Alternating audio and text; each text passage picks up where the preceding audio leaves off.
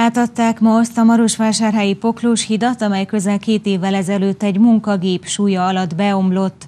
A kivitelezést a történtek után másfél évvel kezdte el a városvezetés.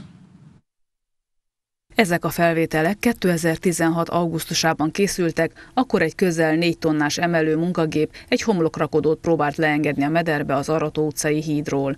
A tartószerkezet azonban nem bírta a terhet, így a munkagép közel 5 méter magasságból a Poklos patakba zuhant. A híd egy része teljesen beomlott, több mint másfél évig forgalomkorlátozás volt érvényben a környéken. Osztogatták ugye a felelősséget egyik a másikra, a polgármesteri hivatal és a vízügyi igazgatóság között Hosszú ideig kerestük, hogy ki a bűnbak, ki fogja ezt a beruházást végrehajtani.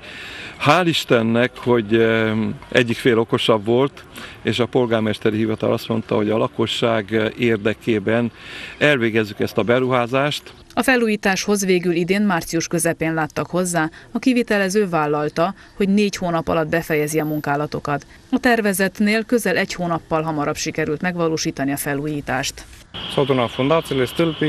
Megöntöttük az alapot, felállítottuk a tartóoszlopokat, ezeket a legjobb minőségű, egyelemből álló betonból valósítottuk meg, és hát látszik az eredménye. Bár a hidat le is aszfaltozták, a gépkocsi vezetők még nem használhatják azt.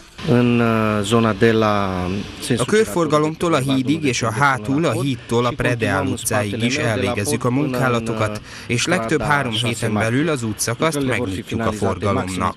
A munkálatok értéke elérte a 450 ezer lejt. Korábban egyébként a polgármesteri hivatal beperelte a vízügyi hatóságot, így a bíróság fogja eldönteni, hogy kiterhel részben vagy teljes mértékben a híd feljavítási költsége.